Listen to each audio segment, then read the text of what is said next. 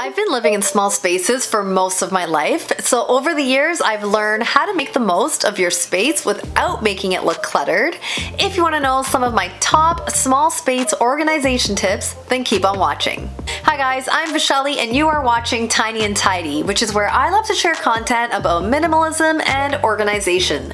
Today's video is going to be super helpful for anyone that's running out of storage space and needs some creative storage solutions. Now before I share five of my top tips, I want you to know that I don't believe in finding storage solutions for anything and everything. If you have a decent sized home, you shouldn't even have to find creative storage solutions. The space that you have should be sufficient. If you're trying to be overly creative with how you store things, you probably have too much stuff. And what you really need to do is declutter. So I've always been super organized by nature, but I wasn't always aware of minimalism. And a big problem that I had was that I was trying to organize too much stuff. This isn't a good idea, and if you do this, your home will never be organized properly. You won't be able to easily find what you're looking for, and there's really no point to trying to organize clutter. If you're overwhelmed with all of the stuff in your home and you just don't know where to start, I highly recommend that you sign up for my Clear the Clutter membership.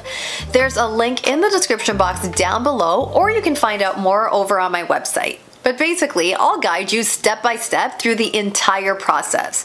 We'll start by decluttering your home. I'll explain which space you should start with, and once it's decluttered, I'll show you the best ways to organize it.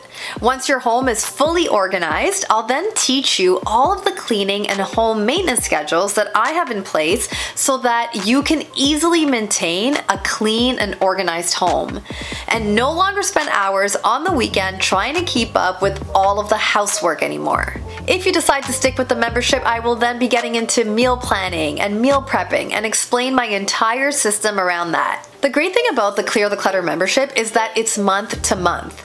So you can join and see if it's for you. And if it's not working for you, simply cancel. Just like a Netflix membership, the only difference is that this membership will actually help you greatly improve your life. Alright, so now that you know that I'm not trying to help you find creative storage solutions for clutter, let's move on. So the reason why I had to find creative storage solutions in our home is not because I'm trying to store a bunch of stuff that we don't actually use.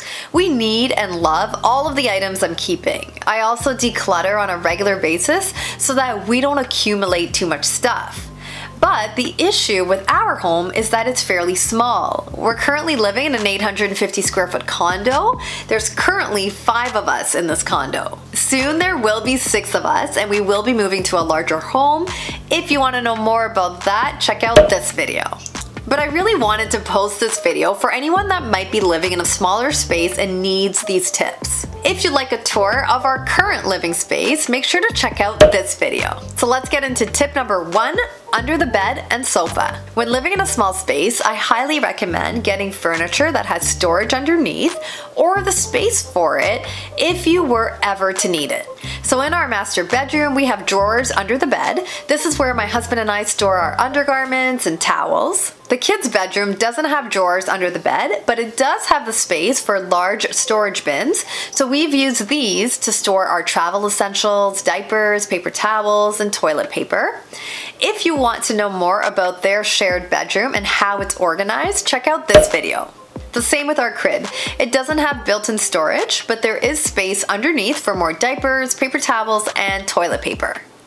Our sofa also has space underneath and I found these bins on wheels that can easily slide underneath.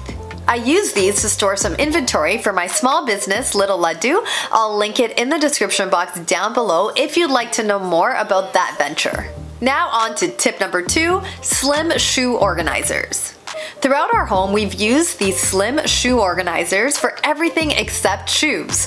They're great because they take up very little space, yet they provide quite a bit of storage. These black plastic ones hold all sorts of miscellaneous items like toolboxes, games, reusable bags, and backstock in our master bedroom, we didn't have enough space for a chest of drawers, so we've used these white wooden shoe organizers instead to hold folded clothing. All of these shoe organizers were purchased from IKEA. Let's move on to tip number three, over the door organizers. This is a space that is often overlooked, but you'll be amazed by how useful the space can be. Every door in our condo has some type of over-the-door organizer attached to it. Most of them are on the back of the door so that you can't see it, but some of them are even on the front.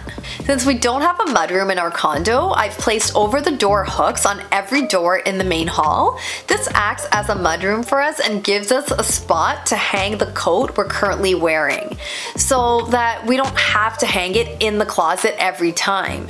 Since we only have one coat closet, it's quite full, so we don't want to have to squeeze in five jackets on a daily basis. Also, when we have guests, we have a place to hang their coats. If you want to know more about this mudroom that I created, check out this video. I've used pocket shoe organizers for some of my shoes and also to store our cloth diapers. If you want to know more about my cloth diapering system and which cloth diapers I recommend, check out this video. We also have this organizer for extra disposable diapers. This isn't one of my favorites, but I decided to hold on to it until our kids are out of diapers, and then I'll get rid of it. I find it kind of bulky and I wish it was longer. I feel like there's still a lot of wasted space below it. We also use over-the-door hooks for our robes and towels. Since we're renting this condo, these over-the-door hooks are perfect because they can easily be removed and don't cause any damage. In our laundry closet, I've attached these broom holders to the door. They're awesome and I'll link them down below. I also added an over-the-door hook to hang my e-cloths. I use both e-cloths and Norwex to clean our home. Next week I'll be explaining what these are and how they compare to one another, so be sure to subscribe to my channel and hit the notification bell so that you'll be notified when that video is posted. These cloths have been absolutely phenomenal when it comes to cleaning, so you're not want to miss that video. Lastly, on this drawer we have an iron and ironing table holder, and I also hang my Norwex cloths here to dry. In our living room, I hung a full-length mirror on the door leading to our master bedroom. Our living room is also our playroom and the kids love having a mirror to look at whenever they're playing, so that's why we have a mirror here. My husband and I also get a lot of use out of it. If you want to know more about our playroom slash living room, check out this video.